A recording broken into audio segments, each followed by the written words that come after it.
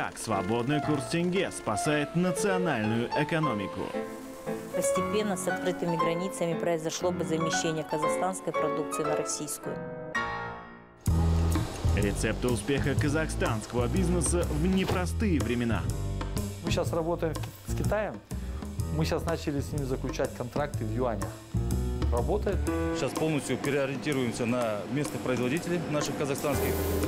Ничего лишнего, просто реальная экономика. Кто хочет работать, кто умеет работу поставить, тот и будет выживать. А те, кто не сумели, те многие просто отсеются.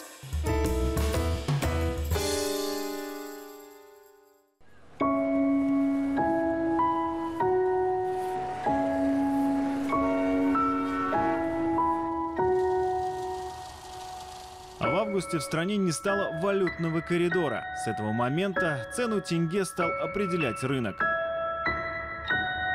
А в первую очередь от этого будет выигрывать экспортоориентированные отрасли. То есть это горнодобывающая, э, нефтяная э, сфера и, конечно, зерновой сектор. Вот эти два-три направления, они будут выигрывать, потому что возникает определенная разница между себестоимостью продукции и э, отпускными ценами, и в результате этого э, значит, наши товары становятся более конкурентоспособными. С осени прошлого года казахстанцы начали скупать машины, квартиры и бытовую технику в России. Наши бизнесмены в это время несли колоссальные убытки. Если бы такая ситуация продолжилась, то сгорела бы существенная доля резервов страны. А к концу года рабочие места могли потерять около 100 тысяч человек.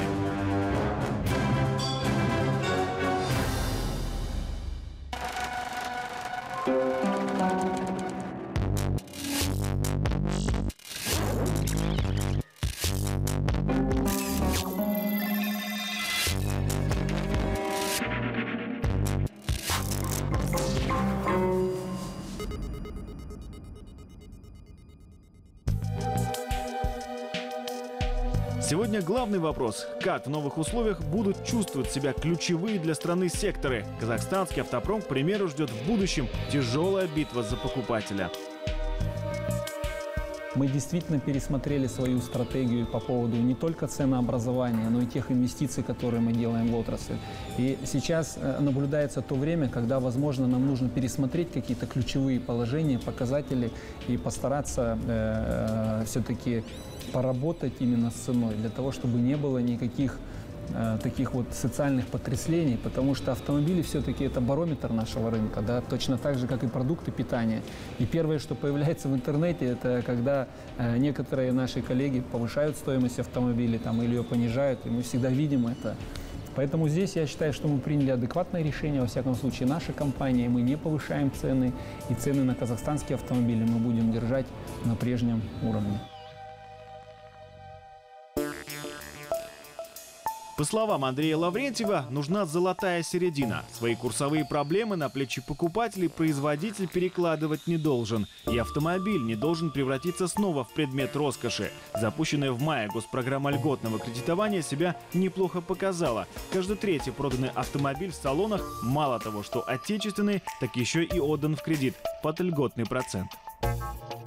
Деньги финально получаем не мы, как производитель, а получает наш потребитель, который берет эти деньги и возвращает спустя какое-то время. Ставка действительно льготная. 4% годовых, я думаю, что это уникальное предложение, тем более в тенге, и аналогов, конечно, этой программы нет. Поэтому в этой программе выигрывают фактически три бенефициара. Само правительство, поддерживая отрасль, давая возможности для развития, автомобилестроители, мы как предприятие, видя свои спросы и предложения, и, конечно, э, э, люди, которые приобретают. В сентябре во время государственного визита в КНР Нурсултана Назарбаева казахстанские и китайские бизнесмены договорились о создании в нашей республике еще одного автосборочного предприятия. Других шансов-то у китайских компаний попросту нет. Здесь и виден четкий прагматичный интерес со стороны китайских компаний казахстанским производителям. Но мы должны четко выстроить свою стратегию, не беря вся, все, что подряд. Нам нужно выбирать из бренда к бренду И нам нужно четко говорить, что мы хотим производить и в будущем национальный бренд.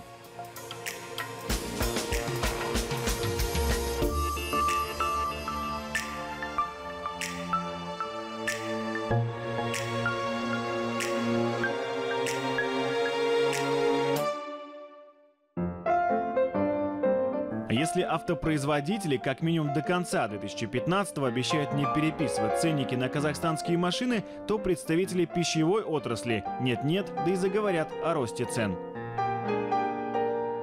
Есть только вопрос по ветеринарным препаратам, есть по запасным частям, которые импортные.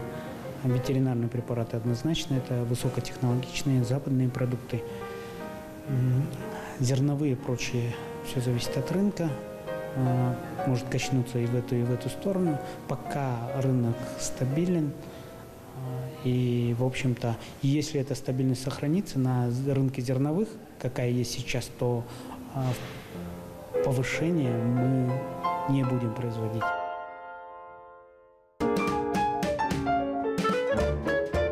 Ближайшие несколько лет руководство Усть-Каменогорской птицефабрики будет озабочено конкуренцией не с соседями по Евразийскому союзу. Больше всего, по мнению Серика Толукпаева, надо бояться конкуренции со стороны американских производителей. Популярность дешевых окорочков снова может вырасти. Придется казахстанским производителям работать и с ценой, и с затратами, чтобы не отдавать национальный рынок. Выиграть в конечном итоге должен потребитель.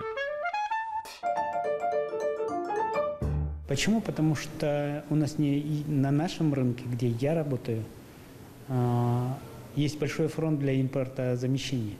Да? И основной упор я сейчас ставлю для себя, я думаю, и отрасль вся ставит на импортозамещение.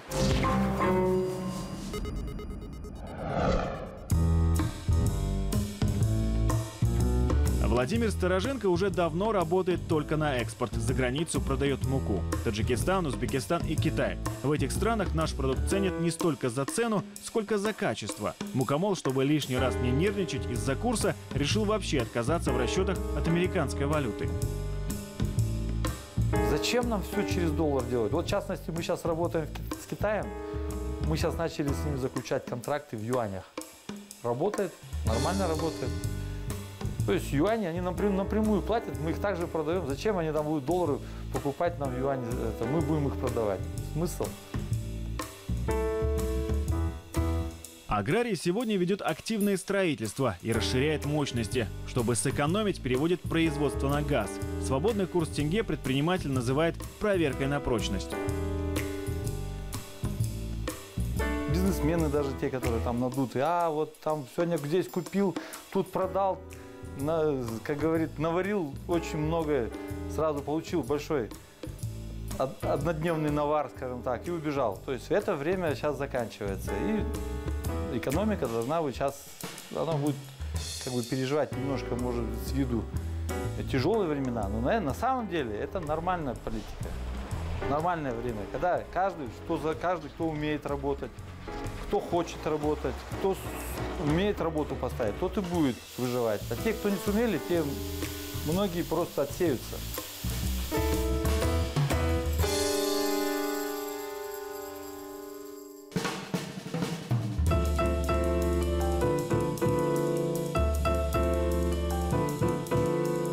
Кустанайский завод безалкогольных напитков новый курс тенге, прямо скажем, спас. Дешевый рубль грозил новому заводу остановкой до лучших времен. Сегодня цены на продукцию здесь повышать не собираются. А, То, что касается плавающего курса, мы, конечно, в Казахстане живем. Наша валюта это тенге, поэтому, в принципе, от курса доллара мы не, не зависим. Самое главное, чтобы а, продолжился тот же курс, но не повышались энергоресурсы. Если бензин, электроэнергия, газ останется на прежнем уровне, нам вполне будет комфортно себя чувствовать.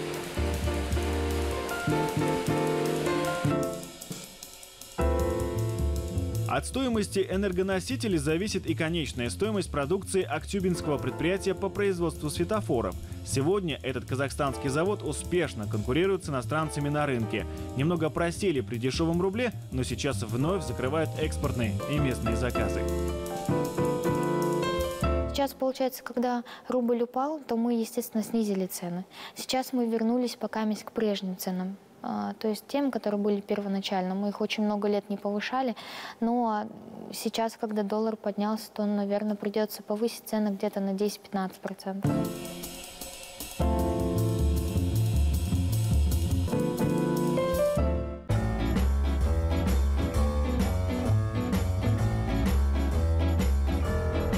Цена продукции от ираусского предприятия по производству электрощитков сегодня стала привлекательной для нефтяников и газовиков. За последние 20 дней мы, нам э, начало поступать больше запросов. Мы начали заключать первые контракты и уже начали выпускать определенную продукцию, которую вы там видите. И мы эту продукцию уже начали поставлять на промышленные объекты Атраусской области. Мы начали выходить на Западно-Казахстанскую область. И даже есть пробные посадки на э, проекты Тенгизское месторождение.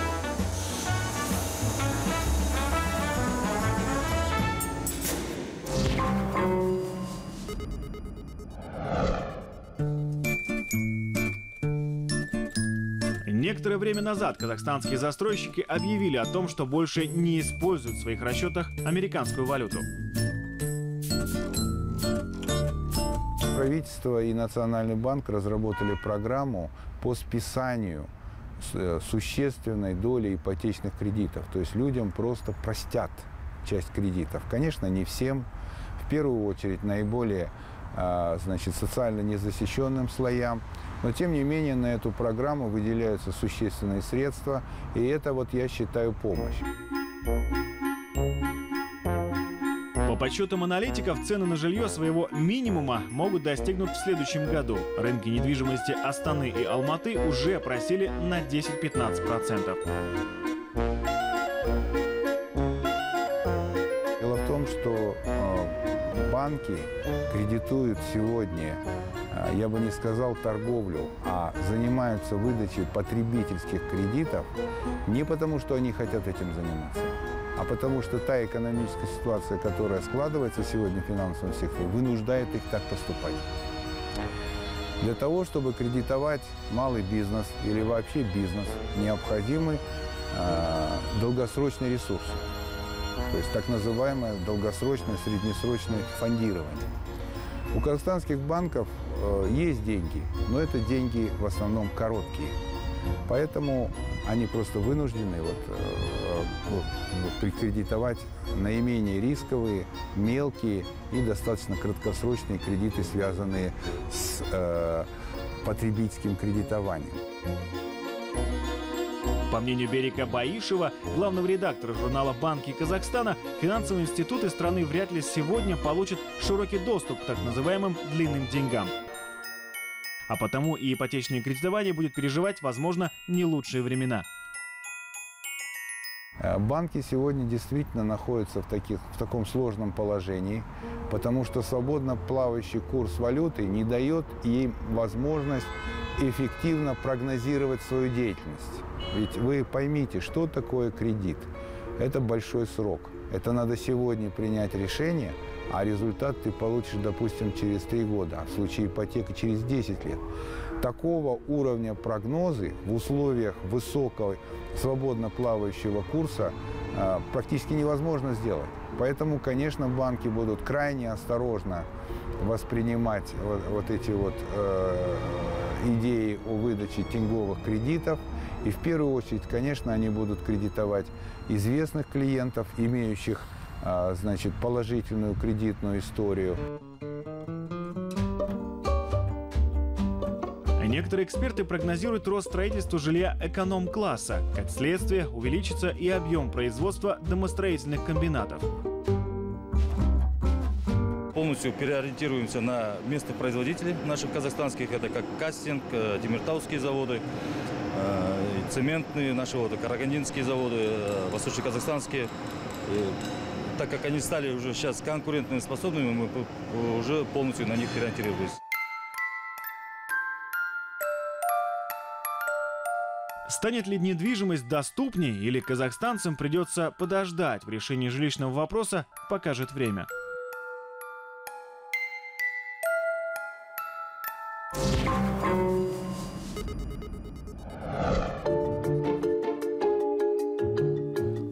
Домов в ближайшее время ожидает роста кредитования малого и среднего бизнеса. Средств для финансирования достаточно.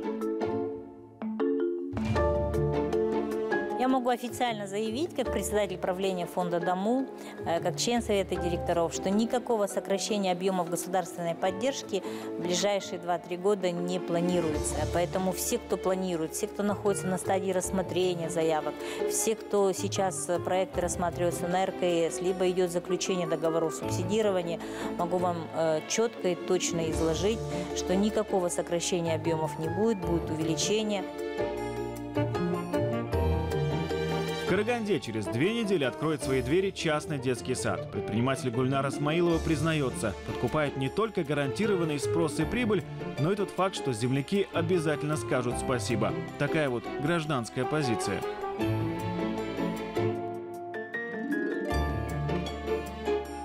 Гражданская позиция таких предпринимателей, которые идут на, ну где-то может быть не, э, не то, что в убыток, но не совсем, э, не, не ожидая большой прибыли, но, по крайней мере, они знают, что это когда-то им воздаться сторицей.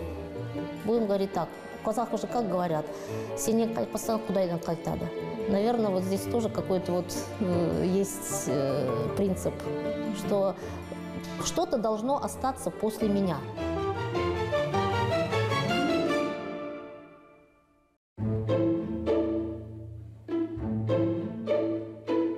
Стране на больших стройках Экспо и десятках индустриальных объектов республики наблюдается высокий дефицит спецтехники. Подъемники, манипуляторы, сверхмощные краны, сплошь иностранцы. Да еще и стоят заоблачных денег. Бизнесмен Арман Жумашев сначала активно продвигал аренду подобной техники, чтобы строительные компании экономили деньги. А сегодня уже ищет земельный участок в Астане под строительство сборочного завода. Сделан у нас будет как минимум вдвое дешевле привозного. При этом иностранные компании также заинтересованы в сборке на территории нашей страны. Пересмотрели наши цены. Да, мы покупаем с Европы очень много э, комплектующих. Э, вся техника у нас из Европы. В связи с чем, наверное, и мы ускоримся э, в строительстве нашего сборочного цеха, потому как у нас есть все возможности собирать здесь технику и производить ее Пусть это будет э, начало с малого производства, но это, я думаю, еще один шаг в сторону развития. Современная техника – это прежде всего существенная экономия, но отечественные компании по старинке используют строительные леса.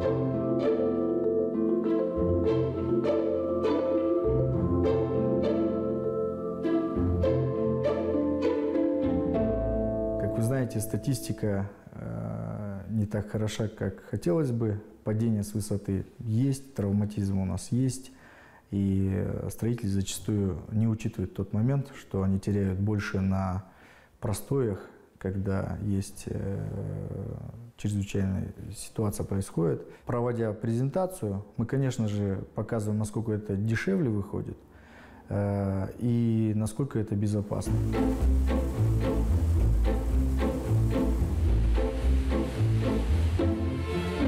Подорожавший импорт должен помочь казахстанским производителям стать ближе к потребителю внутри страны. В республике десятки направлений, где от иностранного мы все еще зависим.